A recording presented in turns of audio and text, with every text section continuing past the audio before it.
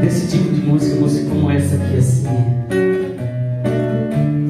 Eu daria tudo que tivesse pra voltar aos tempos de criança. Eu não sei.